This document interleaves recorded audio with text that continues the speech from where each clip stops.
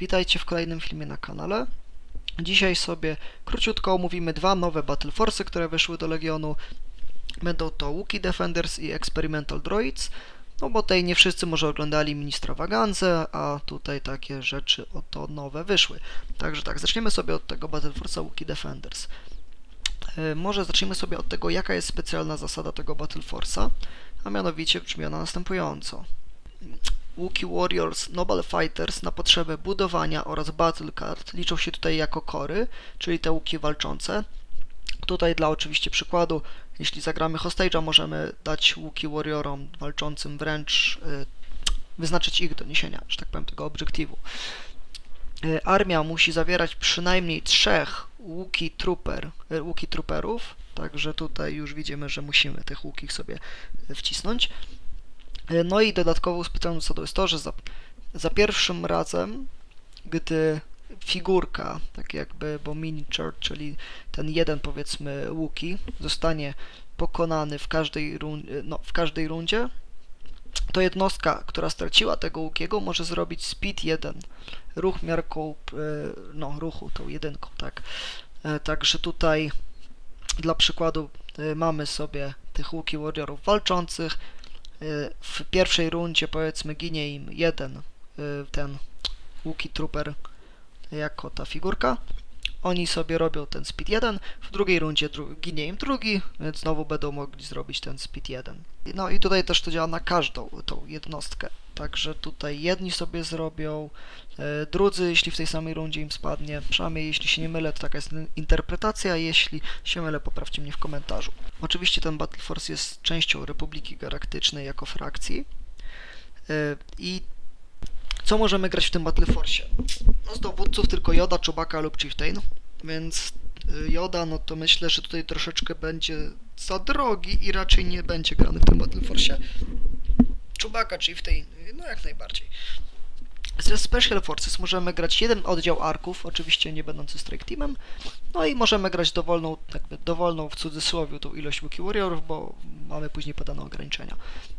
Z chorów możemy grać maksymalnie dwa razy Face dwójki, e, z supportów możemy grać jednego Bark Speedera, no i tam określoną tą liczbę Fluttercraftów. Z heavyków możemy grać e, jedną platformę lub jednego naszego tego TX Saber Class Fighting Tanka, także tutaj czołg możemy sobie też ewentualnie zagrać. Nie możemy brać e, żadnych tych unikatowych upgrade'ów, więc tutaj ani Fivesa, ani Echo sobie nie zagramy, jeśli chcielibyśmy wystawić arki. No i z y, tych rzeczy, że tak powiem, które możemy grać, jeśli chodzi o liczby, to mamy tak. Dowódca to od 1 do 2, czyli musimy mieć przynajmniej jednego. Special Forces możemy grać maksymalnie 4. Korów od 3 do 6, supportów maksymalnie 3 i heavyków maksymalnie 1. Jeśli chodzi o skirmisza, 1 do 2 dowódców, Special Forces maksymalnie 3, 2 do 4 korów, Y, maksymalnie y, jeden support, no i tutaj maksymalnie jeden heavik. Do tego Battle Force'a dostajemy jeszcze jakby nowego, no można powiedzieć nowego y, Fluttercrafta. On się niczym nie różni poza jednym keywordem i kosztem jest dwa punkty droższy niż normalny Fluttercraft, a keyword to Attack Run, który powoduje to, że na początku aktywacji Fluttercrafta możemy wybrać, że zwiększamy lub zmniejszamy naszą, naszą maksymalną prędkość o 1 do końca jego aktywacji. Także tutaj, jeśli chodzi o granie Fluttercraftów z tym Pierce'owym gościem, co strzela do tyłu, lepiej wziąć zwykłego Fluttercrafta, nie ma co płacić tych dwóch punktów więcej, po prostu to się nie przyda. Grałem tym już trochę, nie, nie jest to potrzebny keyword. Jeśli chodzi o granie na bombardierze, myślę, że całkiem przyjemny, bo jednak Będziemy potrzebować e, zrobić mniejszy ruch, weźmiemy jedynkę, będziemy potrzebować szybko dolecieć, a nim chcielibyśmy szybko dolecieć, to tutaj będziemy mogli się trójką poruszyć. No dobra, jeszcze jeden keyword, jest tutaj special issue, to on, możemy grać go tylko w tym Battle Force Wookiee Defenders. Co myślę o tym Battle Force? No na początku spojrzałem, pomyślałem, no tragedia. Battle Force typowo do grania for fun, czyli tak naprawdę można powiedzieć w końcu dobry Battle Force, tak, bo ich założenie było takie, że będą to Battle Force for fun, a nie competitive. No, ale potem po jakiejś głębszej analizie wydaje mi się, że da się zrobić całkiem grywalną listę turniejową. Będzie odcinek z, z tworzenia listy, z omówienia listy do tego Battle Force'a, tak samo do tego drugiego, także to też się pojawi. I myślę, że, że, że można spróbować tym zagrać. Na pewno jakiś raport się pojawi. E, tutaj tylko problemem może być to, że chyba nie mamy tylu łukich i jeśli chodzi o miniaturki, żeby sobie tak fajnie tym pograć, więc albo tutaj pożyczę od kogoś jedno, figurki, albo ewentualnie sobie zagramy na raporcie, że tak powiem, klonami jako łukimi, e, bo no, wiecie jak to jest. Także no, taki Battle Force e, na pierwszy rzut oka dosyć niepozorny, wydaje się słaby, bo te łuki są bardzo drogie, ale, w, ale idzie coś z niego, że tak powiem, wyciągnąć, wycisnąć i będziemy sobie też jak najbardziej próbować. Dobra, teraz mamy ten cały e, separatystyczny Battle Force jeszcze do omówienia. E, tutaj zrobili pewną ciekawą rzecz, o której zaraz powiem, to jest troszeczkę więcej do omówienia. Także tak, najpierw zacznijmy sobie od specjalnych zasad. Oczywiście Battle Force jest traktowany jako frakcja tych separatystów i tutaj Magna Guardy są traktowane jako kory na potrzeby budowania armii i kart tutaj tych no, obiektywów, ale to nie są zwykłe Magna Guardy, to są Prototype Assassin Droids, także tutaj już widzimy, że dostanie, dostajemy tak jakby nową jednostkę Magna Guardów, ale do niej przejdziemy nieco później. No i jeszcze ważna rzecz jest taka, że ten core liczy się tylko na potrzeby tego budowania i battle cardów. Dalej zostajemy przy żetonie Special Forces, bo są to Special Forces. To jest ważne, że tego nie zmieniamy. To tak tutaj jeszcze się upewnia, ale tak, to jest support, ten yy, Wookiecopter, że tak powiem. No i tutaj specjalna, bardzo ciekawa, bardzo ciekawa zasada.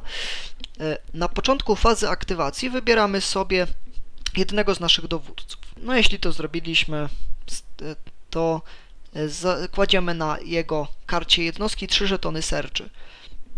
I teraz raz na aktywację przyjaznego Special Forces, Cora lub też Supporta, który ma AI keyword, co jest ważne, jeśli byśmy zagrali B2 z T-Seriesem, pamiętajcie, że ona ma lose AI atak, traci ten keyword AI i wtedy nie możemy wybrać tej jednostki. Ta jednostka może wykonać darmową akcję wydania tego serca z karty y, naszego dowódcy, jeśli jest w zasięgu 3 od tego dowódcy. Jeśli to zrobi, może wybrać jeden z następujących efektów. Może zwiększyć swoją prędkość poruszania się o 1 do swojego kolejnego y, ruchu, tego wykonywanego akcją. To oznacza to, że powiedzmy mamy sobie B1, wydają serca, ruszamy się jednym ruchem trójką, drugi już będzie normalnie robiony dwójką bądź też jedynką. E, swoją drogą ciekawa opcja do hostage'a, żeby sobie przemieścić go szybciej. E, możemy wziąć jednego aima lub jednego dodge'a, bo to wybieramy jeden e, z efektów, tak? To już jest drugi, a mamy cztery łącznie efekty. Możemy dodać jedną czarną i jedną białą kostkę do puli ataku na nasz następny, jakby najbliższy ten atak lub możemy usunąć e, do dwóch suppressive e, tokenów. Tutaj te suppressy myślę, że najmniej atrakcyjna opcja, bardzo sytuacyjna, natomiast aim lub dodge super, zwiększenie ruchu też bardzo dobre, no i dodatkowe kości ewentualnie do ataku, jak najbardziej użyteczne. Jak widzimy, bardzo tutaj ciekawą, e, ciekawą rzecz nam dali. No i przejdźmy teraz do jednostek, które możemy zagrać w tym Battle Force. Z dowódców możemy grać Super Tactical Droida lub T-Seriesa. E, także tutaj e, STD to oczywiście Kraken, Kalani lub też no name'owy. Wszystkie trzy opcje, że tak powiem, są dostępne. Mamy ze Special Forces, Special Forces. Możemy grać BX-y, bez oczywiście Strike Teamów, lub nowe Magna Guardy, nie te stare, te stare, co wszyscy dobrze znamy, co mają 2 HP, tutaj niestety nie możemy ich zagrać. Z korów możemy zagrać od 0 do 2 B1 i od 0 do 2 B2. Z supportów tylko droideki mamy dostępne, z heavyków natomiast mamy nowego ślimaka, ale to też nie jest ślimak, którego dobrze znamy, to jest ślimak, który jest tutaj w tym Battle Force. Nie możemy brać żadnych unikatowych upgrade'ów. Wymagania, jeśli chodzi o te rangi. Dowódców możemy, znaczy musimy grać od 1 do 2. Special Forces możemy grać maksymalnie 3. Kory możemy, musimy grać od 3 do 6. Supportów możemy grać do trzech, heavyków możemy grać maksymalnie dwa. Jeśli chodzi o skirmisha, jeden do dwóch dowódców, do trzech special forces, 2 do 4 korów, do jednego supporta i do jednego heavika. No i teraz to nie jest wszystko. Mamy właśnie te nowe karty Experimental Droids. No to tak, może najpierw ten ślimak, skoro już jest tutaj tak po lewej, a w Polsce czytamy od lewej do prawej. Mamy ślimaka, który kosztuje 145 punktów, czyli tyle samo co stary ślimak. Ale jest heavikiem, ma Cobb ma tego rakietę i program, oprogramowanie, pełny armor, armor. Co ciekawe, Arsenal 3 zamiast 2, Command Node, czyli tutaj w, w Command Phase ta jednostka może wydać y, jednemu korowi w zasięgu jeden rozkaz, także taki gorszy direct można powiedzieć, oczywiście wiemy, że on ma dużą podstawkę, natomiast direct jest na 1.2, stąd też takie uproszczenie do nazwania go gorszym directem. Oprogramowanie musimy sobie wziąć, reposition, weak point 1 sites i możemy grać go tylko w Battle Force tym Experimental Droids. Co ciekawe, jak widzimy, zabrali mu transport z kosztem zwiększonego tam arsenału, kosztem dodatkowego keywordu, ale straciliśmy transport. No i to nie wszystko. Nie mamy serge'owania w ataku. No to jest bolesne, bo tutaj było to dosyć dobre. E, na 1-2 chyba stracił kostkę, bo on tam chyba miał 3 i stracił impact, mamy już tylko jon. Na 1-4 stracił też criticala, mamy też dalej te 5 kości. Także tutaj mm, Arsenał 3, zakładając, gramy sobie jakieś tam rakiety, e, no raczej Arsenał 3 to te dwie dodatkowe kostki to nam nie wynagradza utraty serge'owania, criticala, dodatkowego impaktu i kostki jeszcze. Także myślę, że Tutaj troszeczkę gorzej wypada na tle swojego, e, no, że tak powiem, normalnego i podstawowego, którego już znamy, e, no, odpowiednika. Natomiast, no, po prostu takiego zrobili, więc takiego można sobie w tym Battle Force zagrać. W końcu, jakby nie patrzeć, jest to prototyp Magna Guardy.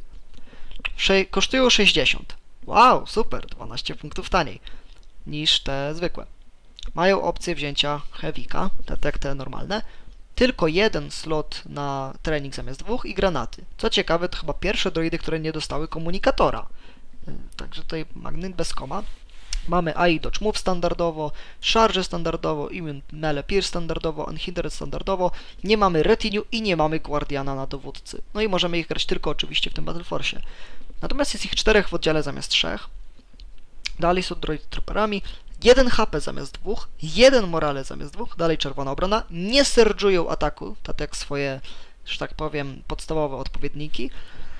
No i kostki. W ataku dystansowym takie same, oczywiście bez sterczowania gorsze, natomiast w walce wręcz straciły jedną czarną, została zamieniona na jedną białą, no i też bez sterczowania, więc kurczę, 12 punktów mniej to nie jest jakoś bardzo dużo, biorąc pod uwagę ile te Magnaguardy straciły.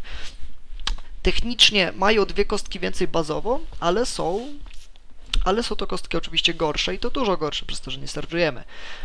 No i druga rzecz, która jest tutaj słaba, no fajnie, że weźmiemy Hewika, tylko że pamiętajmy, że w zwykłych Magna Guardach ten Hewik ma 2 HP. Także powiedzmy rakieta za 34 punkty z jednym punktem zdrowia, żeby zrobić 5 Magna Guardów, no może się to nie do końca kalkulować. Jako zwykły oddział takich czterech ziomków, w sumie oni nie są źli. Bo wiecie, 60 punktów i tak naprawdę im już nic nie trzeba dawać. Możemy dołożyć tenacity na przykład, że jak jeden spadnie, to sobie tą kostkę czerwoną zyskamy. No i oni tam lecą do przodu, nie? Lecą, biegną. Także ten Battle Force też na początku wygląda na... Znaczy tutaj są dwie rzeczy. Na początku wygląda, ej, wow, fajna nowa zasada. Z drugiej strony, jej, te magny są bardzo biedne w porównaniu do tego, które już teraz mieliśmy ale, e, ale co ciekawe, da się tutaj zrobić listę na przykład na 9 Special Forces, więc mamy bardzo dobrą kontrolę i jednym dowódcy. Listę, która będzie miała za zadanie biec do przodu po prostu przed siebie i wchodzić do jakiejś walki, bo możemy wziąć BX właśnie z tymi wybroostrzami, możemy wziąć te Magna Guardy z Tennessee i wychodzi na to, że da się tym zagrać. Można też ogólnie zrobić ślimaka, jakąś listę na 11 aktywacjach, i wychodzi na to, że na początku tak patrzymy, że ten Battle Force wydaje się bardzo słaby, też właśnie taki zrobiony typowo for fun. Ale jak zaczynamy sobie tak głębiej analizować, to może nawet to będzie w jakimś sposób grywalne. Na pewno trzeba będzie przetestować. Też spróbujemy przetestować, tylko nie mamy aż tylu Magnaguardów, więc albo pożyczymy, albo wykorzystamy jakieś tam droidy po prostu, żeby spełniły, że tak powiem, no, te założenia magnaguardowe. No, bo, bo wiecie jak jest, no kto normalny kupował tyle magnaguardów, żeby sobie wcisnąć 6 oddziałów bagnów po 4 figurki na ten na oddział? No myślę, że mało osób zdecydowało się na takie zakupy, nie miało to większego sensu. Natomiast wracając jeszcze do, że tak powiem, tego Battle Force'a, ciężko go ocenić, jeśli chodzi o granie turniejowe, bo mamy jakiś tam fajny efekt. Yy, da się nim nieźle zagrać pod scenariusze, bo BX-y biegnące z Scoutem 3, potem jeszcze z Ruchem 3, no mogą szybko dobyć do jakiejś skrzynki na przykład. Technicznie Hostage może całkiem szybko i sprawnie zacząć się przemieszczać z tym Speedem 2, także na pewno będzie to dosyć yy, ciekawe, żeby sobie przetestować. Yy, na razie na razie te Battle Force wyglądają jak bardziej granie dla zabawy, właśnie takie, żeby sobie klimatycznie pograć, ale kto wie, wiecie jak to z, z Battle Force'ami było. na razie co wychodziły były takie dosyć niezłe, można powiedzieć. Także i tutaj może się okazać, że z jakiegoś powodu to, co wygląda tak naprawdę biednie, bo te Magnaguardy wyglądają bardzo biednie w stosunku do swoich no, odpowiedników zwykłych separatystycznych, tak może się okazać, że są naprawdę niezłe. Dajcie znać, co myślicie o tych Battle Force'ach. Yy, może już nawet zdążyliście do czasu wyjścia tego filmu zagrać, jeśli tak, to jestem ciekaw waszej opinii. Yy, od nas na pewno możecie się spodziewać, że nagramy film z wykorzystaniem tych Battle Force'ów, żeby wam pokazać je w akcji. Yy, no i jeśli ten film się spodobał, to zachęcam do zostawienia łapki w górę oraz subskrypcji na kanale i widzimy, słyszymy się w kolejnych filmach.